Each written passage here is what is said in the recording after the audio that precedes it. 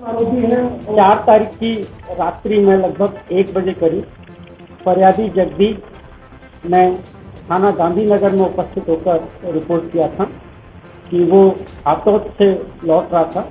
तब ग्राम नैनोद के पास में तीन अज्ञात बदमाशों ने उसको रोका, पेट्रोल मांगा और जैसे ही वो रुका, उन्होंने उसको हाथ में चाकू मारकर उसकी मोटरसाइकिल, मोबाइल और पर्स छीनकर भाग गए सूचना पर से थाना गांधीनगर में धारा तीन सौ चौरानवे भारतीय जन विधान के तहत प्रकरण कायम किया गया। एक अज्ञात लूट की सनसनीखेज वारदात थी जिसको डीआईजी इंदौर साहब के निर्देश पर additional SP doctor Prashant Choubey P S P Shri Jayant Rathore के मार्गदर्शन में थाना प्रभारी गांधीनगर श्री संतोष की एक टीम इसमें लगाई गई, थाने की टीम लगाई गई।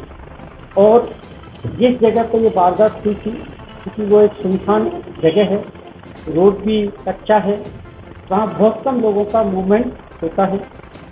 पुलिस को मुखबिर द्वारा सूचना मिली कि तीन युवक जो कि फरियादियों द्वारा बताए पुलिये और तटकाठी के थे वो देखे गए हैं। मुखबिर ने उनकी पहचान बताई। उसके आधार पर पुलिस के द्वारा अर्जुन, आकाश और श्रवण को पकड़ा गया। हमारी एडिशनल एसपी सीएसपी और थाना प्रभारी द्वारा कल दिन भर उनसे पूछताछ की और अंत में उन्होंने ये स्वीकार किया कि उन्होंने फरियादी जगदीश के साथ में लूट की, वारदात की। आरोपियान किसी सिंगल तरफ़ से आ रहे थे। उनको लगा कि एक टारगेट आज कोई वारदात करनी है।